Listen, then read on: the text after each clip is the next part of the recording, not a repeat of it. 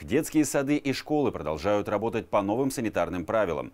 Напомню, противовирусные меры в образовательных учреждениях продлили до конца года. В городском округе Люберцы контролируют соблюдение требований Роспотребнадзора. Наша съемочная группа присоединилась к очередной проверке.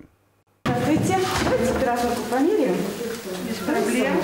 Правило измерять температуру при входе стало делом привычным. Убедившись, что с ребенком все в порядке, сотрудник детского сада провожает его в группу. Родителям вход строго запрещен. Массовые мероприятия в стенах дошкольного учреждения отменены. Мы работаем по тому же плану, по тому же графику. Все праздники у нас для деток, поэтому мы все проводим, снимаем родителям показываем. В распорядок дня и образовательный процесс противоковидные меры никак не повлияли. Единственное, перерывы между занятиями стали дольше, чтобы успеть проветрить помещение и продезинфицировать поверхности. На пищеблоке в обязательном порядке все сотрудники должны быть в масках э, в течение всего рабочего дня, как бы это тяжело не было. И, конечно, предусмотрено наличие перчаток. Сотрудники, которые работают непосредственно с детьми, причем при индивидуальной работе, также носят маски, носят перчатки. Если это фронтальные виды работ, то допустимо э, снимать маску.